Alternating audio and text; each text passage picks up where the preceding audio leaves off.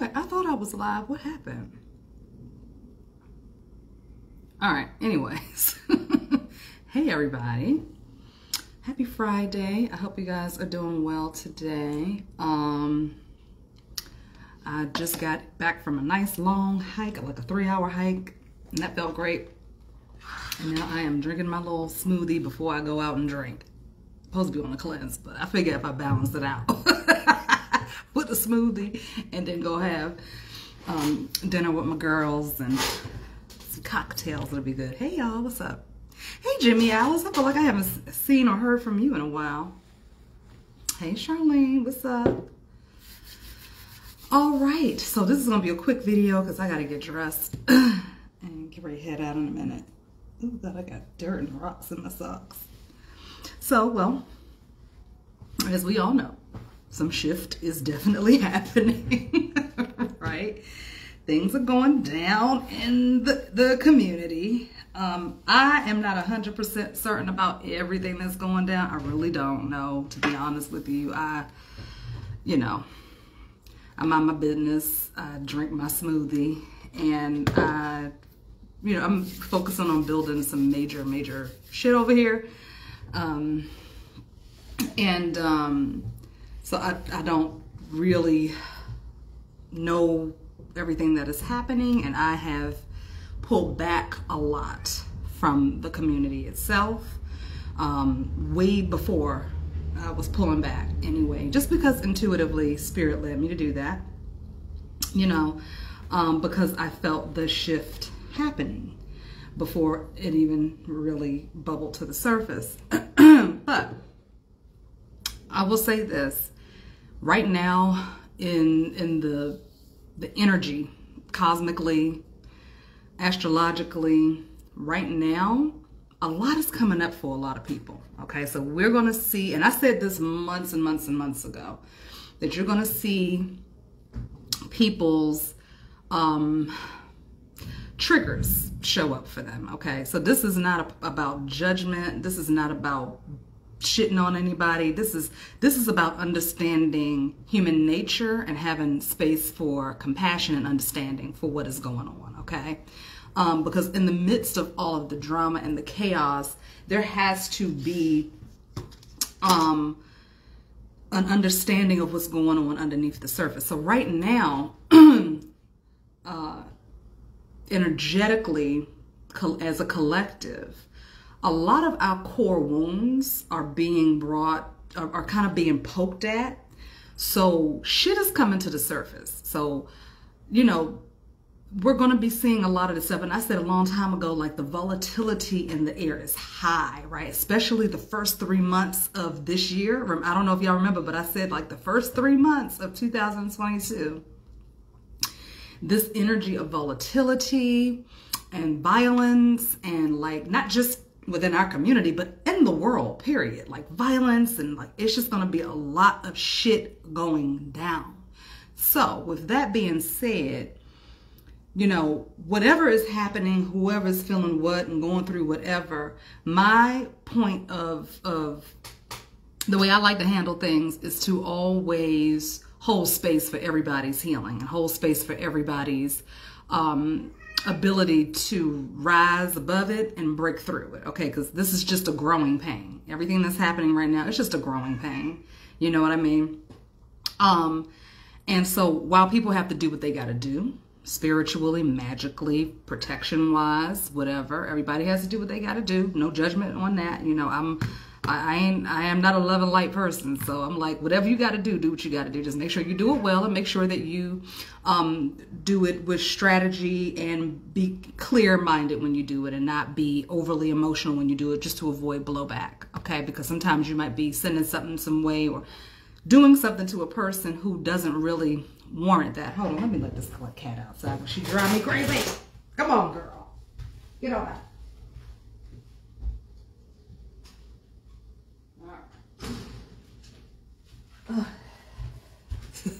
Sorry about that. She is a nutcase. Anyway, um, everybody got to do what they got to do, right? Um, so, but I will say this: hold space for for everyone involved or who's not involved. I don't know. I don't know. I don't know. Just hold space for everybody, child. That's it. Um, y'all see my holes in my workout shirt. Um, so, you know, unhealed wounds are being poked at. There is this, there is an energy out here that is looking to disturb um, peaceful communities, peaceful organizations, uh, people who are or people who operate or think from a higher mind, there is an attack on that type of, of, on that frequency. Okay, there is an attack that is unseen. It's not necessarily coming from a person. It is just coming from an energy, an entity, the, the beast, so to speak. Okay. Um, so those of us who are doing the work to raise the vibration are being directly affected. Okay. And, and what it's doing is it's confusing the energy. So it's confusing everybody. Everybody is a little confused about where this shit is coming from, right? So you may be feeling like you're taking hits from somebody when really that hit is coming from that that beast, okay, that's that's affecting the collective because we could see it happening in the collective, okay?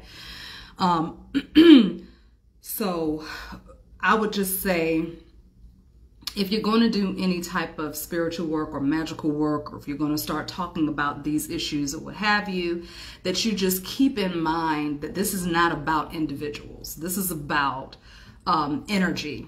Okay. This is about the mind. This is about people being called to step fully into their healing. Okay. Anywhere that you might have kept sweeping shit under the rug and ignoring it, it is going to come to surface right now. Your buttons will be pushed. You will be pushed into your healing. You're going to have to heal. You have to heal. See, we can all we can we can get to heights of success. We can be successful. We can make money. We can be in loving relationships without being healed. You ain't got to be healed to get those things, but to maintain them and to keep them, you do. You got to heal. And so, if there's anything inside of us that needs adjusting or it's time for the, those things to be healed, then this is the time right now, the way this energy is, this is the time that those things are going to be highlighted. Like that, that wound is going to be highlighted. Okay. And because it is a wound, and that means that it's a crack in the foundation, that that that beast energy, whether it's using other people as a catalyst to get to you or not, right, is going to get to you because there's a crack in the foundation. And I always talk about that, right? Last year, most of last year, I was in spiritual warfare. Okay, I had to do some deep, heavy, heavy, heavy dark magic, right, to assist me with protecting myself and keeping certain things, energies, entities, and people out of my energy field. Okay. But the only way they were able to get in there is because there was some shit. It was a crack in my foundation, right? I had to check me first. So I dealt with me first. Then after I got strong, stronger, and had healed and sealed up that particular crack in, in, the foundation that was causing this effect on my life in different areas, right? Once I healed and sealed that up, then I was like, all right, now anybody who tried to take advantage of that or anything that tried to take advantage of me while I was laid in hospital bed healing. I wasn't I wasn't actually in a hospital bed, but when you when you go into healing, that's kind of what it's like. You have to you know, you kind of have to surrender yourself to the process, okay? So it's like you're laying down in a hospital bed recovering. All right. So while I was doing that, is it, I was having some things come to me. People were attacking. P- things were attacking, not just people, but entities, and the entities were using the people as pawns to do certain things to me. Okay. Or do certain things for me, not to me, because it was all for my highest and best good. Not one thing that happened to me last year happened to me. I am not a victim. Nobody was just like tr- trying to come and kill me and all that type of shit. Even if they were, it happened for my highest good, and I thank them. I thank them. Okay. Um. To this day, do I know who they were? I don't know. I don't really care. I don't need to know who they were as individuals. I just knew that there was something coming out and I divined and I dipped down and got down and dirty and was like, yo, what's going on? Because it ain't just me. I know I am the catalyst. I am the key through which these these entities and energies and people were able to open up the door and work their way in there, right? I am the reason why. However, I know it ain't just me. So what needs to happen. And I didn't need names. I didn't need I didn't need to do all of that. It was just a matter of going here, do the work, and move on. That's it. Okay? But I was the cause of it. It wasn't anybody else. It was me. So if you feel like you're being attacked by someone or something is happening or whatever the fuck is happening, right? I don't know, right? Whatever the fuck is going on. If you feel that, I would encourage you to go within and find out, okay, where is the crack in the foundation? How did they even worm their way in here if they're doing that? Because sometimes it ain't nobody. Sometimes it is our own fear of expecting a betrayal from someone or expecting to be hurt. We always kind of like like this, you know what I'm saying? Especially if you've dealt with any kind if you've dealt with any kind of abuse, whether it be physical, emotional, verbal, sexual, um, there is a, a PTSD there if you haven't done the work to clear it. And when I say done the work to clear it, I mean if you have not gone and gotten professional um, um, mental health care for it, not just magic, not just doing your own inner work and all of that stuff. That stuff is that stuff has to happen in conjunction with medical attention. Okay, please believe that. As a community, especially as black folk, we got to get out of that. I ain't going to the doctor. I ain't letting nobody get in my head. Listen, listen. Everything is here for our benefit. All you got to do is call forth the right practitioner. Call forth the, the right good practitioner that is for you, the one who does have a medical degree, the one who is licensed, the one who can help you and give you tools to assist you and help you pinpoint where it is. And on top of that, you do your own energetic work or you work with a, another energetic practitioner. You got to form an earthly team for you down here.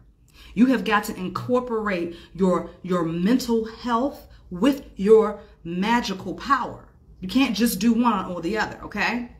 Because what happens is when we do not deal with those core wounds, deal with them for real. Like when we don't deal with them on a, on a real cellular core level, what happens is this when we go start messing around with magic and we start inviting all of these different entities, energies into us, if we are not already mentally stable, meaning there is something inside of us that at any given moment can rock my foundation and rock my, my, my mental, right? Having all of these energies pass through the body can sometimes, not all the time, and I'm not saying that this is happening, I'm just saying can sometimes trigger low grade schizophrenia. Now, I am not a doctor, I am not a licensed therapist, but I have seen this happen with people who do not take their mental health seriously.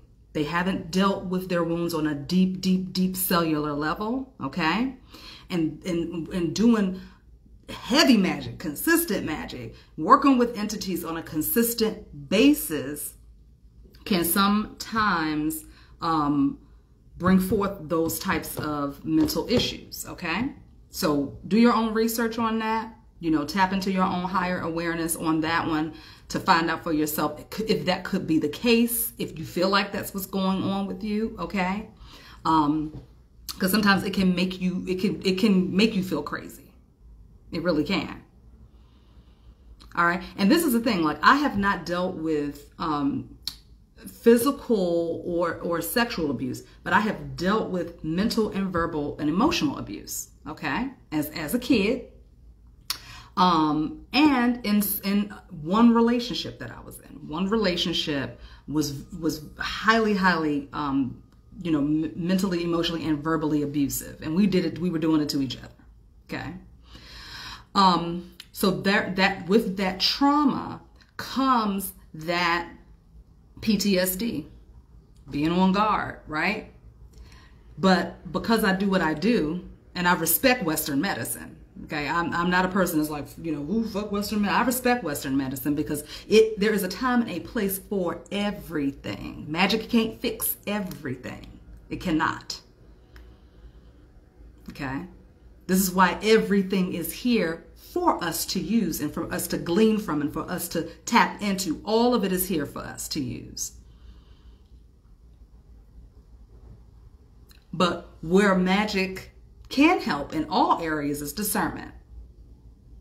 You you can use your magic to discern what is right for me in this moment. It's not always going to be Western medicine. It's not always going to be magical rituals and spells. It's not always going to be, um, you know, Reiki and energy work. It's not always going to be hypnosis. It's not always going to be one thing. You may have to pick and choose from different things. Anytime I work with a client, I always say, okay, this this is something that we can work on. However, this is is very heavy. So I recommend that you, if you're not already under the care of a physician, like a, a MD or a licensed therapist or a psychiatrist or a psychologist, then I recommend that we pull one of those experts in on this so we can work as a team to make sure you get the fastest, most effective results possible. We have got to start taking mental health seriously, for real. Not not just from what is happening in the middle, um, magic community, magical community, but what is happening on a larger scale, a global scale. We got to take it seriously, and we have to start not only looking at oh I, go i have a therapist okay well where is your energy worker where's your spiritual person like where's your you know what i mean like we got to keep it all we got to pull it all together and mix it in a pot because it is um, it's a recipe. It's not just one ingredient. It's a recipe. All right. So again, like I said, I'm speaking from experience because I have been in in positions in my lifetime where I have felt like I was losing my mind. I felt like I was going crazy. I felt like everybody was coming after me. And until I was able to release the the hurt and the pain and heal some wounds that stemmed all the way back to my childhood. And some of it wasn't some of it it was always it started in childhood but a lot of it culminated in like my early 20s right? My late teens and my early 20s and even up to like right before right before I turned 30. Okay, it was a lot of stuff that was happening, and then that I had to go and look at each version of myself and go through that process and work on my own healing journey, do it on my own, as well as hire professionals and experts and coaches who could also help me process. All right, so yes, the shift is happening and the shift is happening everywhere. It's happening all over the world. It's happening with all kinds of people. You know what I mean? I, I went through hell last year. I just, nobody knew. you know what I'm saying? Nobody knew. I keep, I, you know, I do my shit on my lonesome. You know what I'm saying? Um, I, I mean, I had coaches and mentors and therapists, things like that, that was helping me and working me, you know, helping me through the process as well as going through my own process. But I am not saying this, you know, to say that, you know, one person is better or worse or whatever. I'm just saying we got to look at stuff on a deeper level and we got to have compassion and love and just hold space. Just hold space. You know, that whatever is going on, um, it's causing something new, fresh, and beautiful to emerge. And whatever needs to die dies and is put to death. And whatever remnants can be used to plant new seeds are planting fruitful abundant useful beneficial seeds okay? All right? So pull back do whatever you need to do. Child just do whatever you need to do um and just you know try to stay free of the drama. I don't know any, I don't know no, no specifics of anything. I haven't watched any videos. I haven't been paying attention to a lot of stuff. I'm working my black behind off over here. I have several different projects brewing right now. Um, the Be Magic Hypnosis Method program is starting in the first week of May. We're going to do our orientation on April 15th. If you are interested in signing up for that, um, I have posted it here in the group. So please take a look at that um, and go ahead and get yourself in there. I'm only accepting 10 people for right. I think right now we have three people signed up. Um, so you have until you have until May um, because we're going to record the orientation. So you have up until the first week of May to sign up and get started, okay? And if you can't sign up until May, that's fine. Um, once you get signed up, you'll have access to the orientation because it'll be uploaded into the, the classroom portal anyway, okay? Um, so that's going on. I got some other stuff that I'm not going to talk about that's happening, uh, you know, that has, you know, nothing to do with what's going to be happening. Anything that I'm going to be promoting on social media is totally different, totally different industry, totally different everything. So, um, so there's a lot happening. I can't get time to. I just I don't have time to keep up with the um, the news forecast on Facebook. Um, so, but I am just sending love to everybody. Um, you all know that I'm very close with both Sabria and Lavette. Um, and we still work together and we still have a very tight knit friendship and relationship.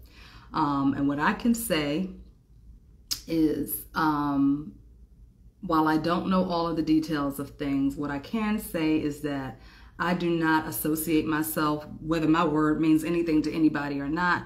Um, I don't associate myself with anybody who does not operate in integrity, with anyone who isn't truthful and honest in their business dealings. Um, I don't associate with anybody who I don't, who I can't trust. You know what I'm saying? Uh, as a friend or whatever. Um, that's what I will say about that. I send love to everyone. Okay. Um, so that's it. Okay. So I love you guys. Thank you for tuning in. Hope this has been helpful. Um, again, if you're interested in signing up for the um, Be Magic Beta Test Group, the I pinned it at the top of the page in the group so you can go and see that information. Um, and also what else is going on? Oh yes yeah, so we're going to be starting another round of the um, breaking chains codependency group okay? We're getting ready to start another round of that. That shit is powerful. Very very powerful. So highly recommend it for anybody who feels like they need to break free of um, any kinds of codependency. If you're not sure whether or not you have codependency issues, then I would recommend setting up a free consultation first so we can talk a little bit about it. You can ask questions, you can tell me what your issue is, and I can tell you if this is going to be a good program for you or not, okay? All right, y'all, I'm about to go get ready for my date night with my girls. And I will see y'all later. See you in the next video. Bye.